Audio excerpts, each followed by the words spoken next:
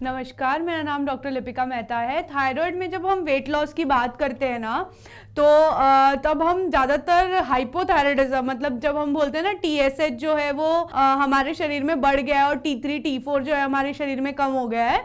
तो जब हम हाइपोथायराइडिज्म की बात करते हैं तब हम वेट लॉस क्योंकि उसमें वेट गेन ज़्यादा हो जाता है इसलिए वेट लॉस के बारे में सोचते हैं कि हम वेट लॉस कैसे करें अगर हमको हाइपोथायराइडिज्म है। तो देखिए अगर आपको हाइपोथायरेटिज्म है और आप वेट लॉस करना चाहते हैं तो आपको अपनी लाइफ में कुछ चेंजेस लाने पड़ेंगे। थोड़े बहुत चेंजेस जो हैं, आपके जो लाइफस्टाइल में लाएँगे, उससे आपको वेट लॉस हो सकता है।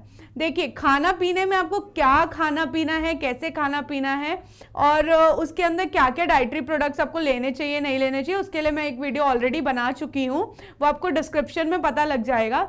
अभी हम बात करते हैं कि और क्या हमें वेट लॉस के लिए करना चाहिए। तो सबसे पहले हम योगास के बारे में बहुत सुनते हैं, जानते भी हैं और हमारे इंडिया में हमें माना जाता है कि हमें योगा जो है, वो हमारे लिए सबसे इंपॉर्टेंट डे की जो शुरुआत करनी है हमको, वो हमको योगा से करनी है। जो भी फीमेल्स या मेल्स जो भी हाइपोथायरॉयडिज्म से सफ़र कर रहे हैं और उनको थायराइड रिलेटेड डिसऑर्डर्स है तो उनके लिए सूर्य नमस्कार जो है, वो रामबाण का काम करता है। देखिए, जब हम सूर्य नमस्कार करते हैं ना तो उसमें क्या होता है कि हमारी जो फुल बॉडी एक्सरसाइज होती है वो तो आप एक तो सूर्य नमस्कार करिए अगर आपको वेट लॉस करना है तो। दूसरा, जब भी हम वेट लॉस के बारे में बात करते हैं तो हम कुछ और आसन, जैसे शीर्ष आसन, हलासन, इनके बारे में बात करते हैं। ये कुछ आसन हैं जो आप करें और आपको वेट लॉस महसूस होगा कुछ दिनों में।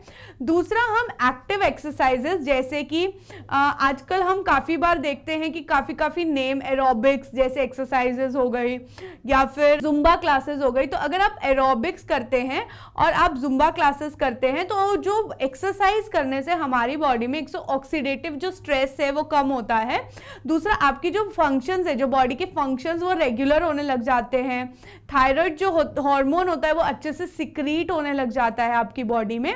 तो अगर आपकी बॉडी एकदम नॉर्मलाइज रहेगी और अगर आप एक्सरसाइज अच्छे से करेंगे तो आपको क्या है हाइपोथायरॉयडिज्म की दिक्कत कम से कम रहेगी और आपको हाइपोथायरॉयडिज्म का रिज़ल्ट जल्दी मिलेगा।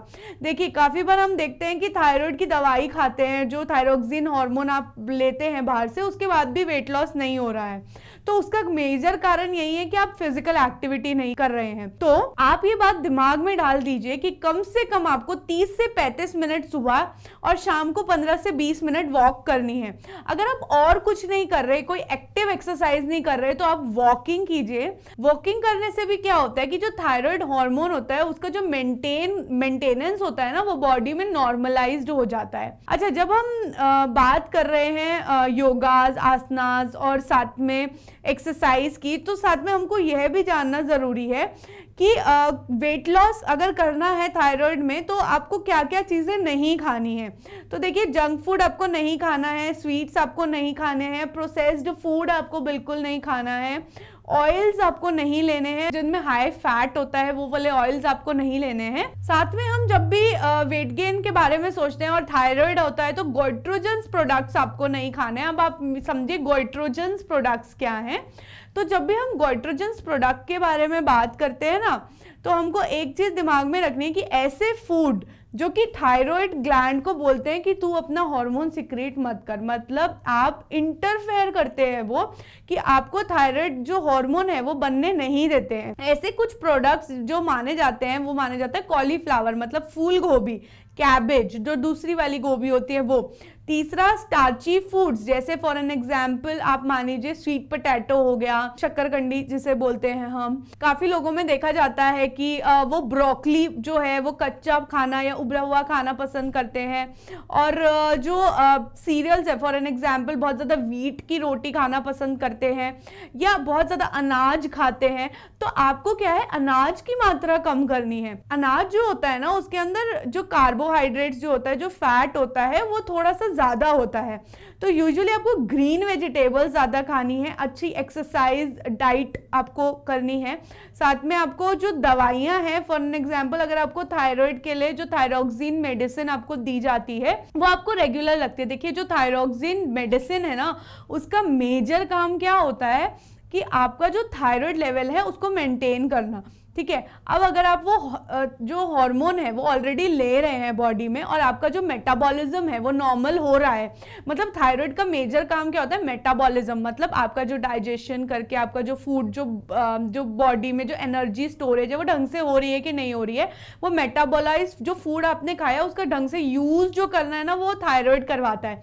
तो अगर आपकी बॉडी में थायराइड जो है वो कम हो जाता है, क्योंकि हाइपोथायरॉयडिज्म में कम हो जाते हैं तो आपका जो फ़ूड है वो अच्छे से ना तो डाइजेस्ट होता है और ना ही मेटाबोलाइज होता है। और वो क्या होता है उसकी वजह से क्या होता है कि आपके शरीर में बहुत ज़्यादा वीकनेस महसूस होना, अब डाइजेस्ट अच्छे से नहीं हो रहा है तो वो फैट एक्यूमुलेट होने लग जाता है बॉडी में। तो मेटाबॉलिज्म जो कहते हैं ना कि जो हाइपोथायरॉयडिज्म का पेशेंट होता है, उसका मेटाबॉलिज्म स्लो होता है। जैसे नॉर्मली जो खाना आपने खाया, वो फटफट डाइजेस्ट हो जाता है, लेकिन जो हाइपोथायरॉयडिज्म का पेशेंट होता है, उसकी जो बॉडी होती है, उसमें जो मेटाबॉलिज्म जो एनर्जी प्रोडक्शन मेटाबॉलिज्म होता है, वो स्लो हो जाता है।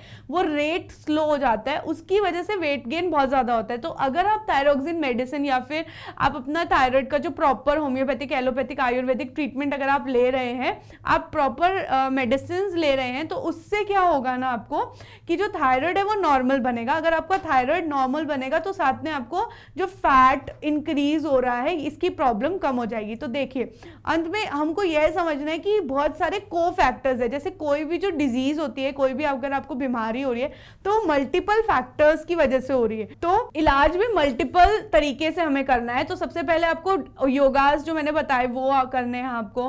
आपको डाइट रिस्ट्रिक्शंस करने हैं। आपको फैटी फ़ूड नहीं खाना है। और अगर आपको जो जो खाना चाहिए जो जो नहीं खाना चाहिए, वो आप देख सकते हैं डिस्क्रिप्शन में लिंक्स मिल जाएँगे आपको। तीसरा जो है, आपको जो मेडिकेशन है, वो टाइमली लेनी है। अगर आप मेडिकेशन टाइमली नहीं ले रहे हैं और थायराइड हार्मोन ट्रीट नहीं हो रहा है थायराइड हार्मोन ढंग से नहीं बन रहा है बॉडी में तो उसकी वजह से पॉसिबिलिटी है कि आपका जो वेट लॉस है वो नहीं हो रहा होगा। तो ये तीनों चीज़ों को आप ख्याल रखिए और आप हाइपोथायरॉयडिज्म से जल्द ही छुटकारा पाएँगे। और यह जो हाइपोथायरॉयडिज्म जो है, ये क्रॉनिक कंडीशन है क्रॉनिकली चलता है ये। तो अगर आप अपनी सेहत का ख्याल रखेंगे बैलेंस डाइट लेंगे, योगा करेंगे एक्सरसाइज टाइमली करेंगे तो आप इससे जल्दी से जल्दी छुटकारा पा पाएँगे। धन्यवाद।